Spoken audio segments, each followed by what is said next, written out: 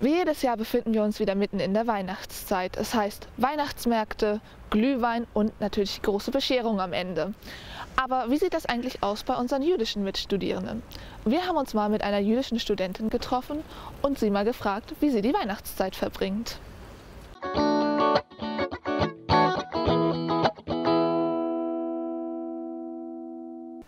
Es ist Weihnachten. Christen und Atheisten feiern dieses Fest in Deutschland zurzeit. Ähm, wie verbringst du und auch deine Familie diese, diese drei Feiertage? Ähm, das kommt immer ganz drauf an. Also dieses Jahr zum Beispiel sind wir zu Hause und machen das, was wir normalerweise jeden Tag machen. Genau. Äh, meine Eltern werden mit Sicherheit Klausuren korrigieren. Äh, mein Papa wird vielleicht ein bisschen Big Bang Theory gucken, was er sehr gerne tut. Und genau, ich werde lesen oder ja, bisschen Uni machen. Mhm was man so macht. also nehmt ihr Weihnachten gar nicht so wahr zu der Zeit auch?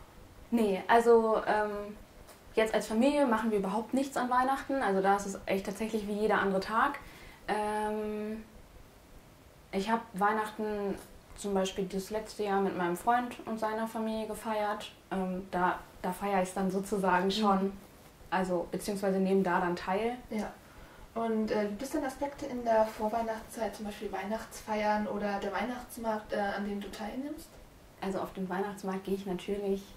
Ähm, ich höre auch manchmal mit Freunden irgendwie Weihnachtslieder mit meiner Nachbarin und äh, sehr guten Freundin, die hier nebenan wohnt. Mit der haben wir früher immer Plätzchen gebacken, also ich mit ihrer Familie. Äh, ich glaube, ich bin immer die, die sich doll dafür einsetzt, dass ich mit meinen Freunden wichtel. Ihr feiert gerade äh, Chanukka. Und ähm, meine Frage wäre da, wie feierst du das mit deiner Familie zusammen?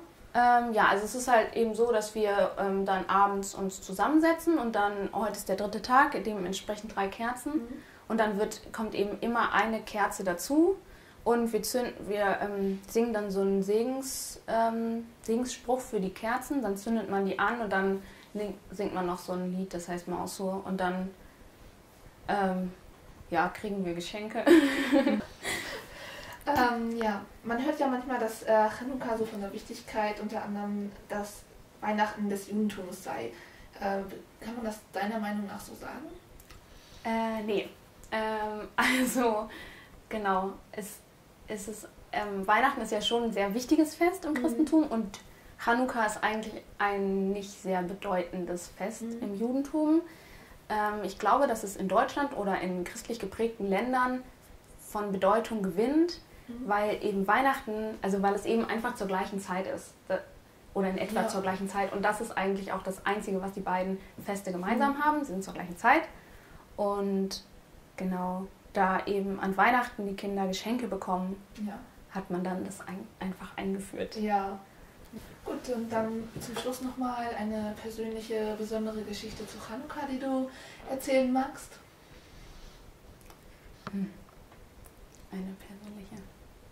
Ich weiß noch, dass ich früher, wir singen dieses Lied Mausur ähm, und das hat mehrere Strophen. Und früher habe ich immer mit meinen Eltern verhandelt, nach diesem Lied gibt es die Geschenke, mhm. dass wir äh, möglichst nur die erste und die letzte Strophe singen, damit es möglichst schnell Geschenke gibt, weil ich so nervös immer während dieses Liedes war. Mhm.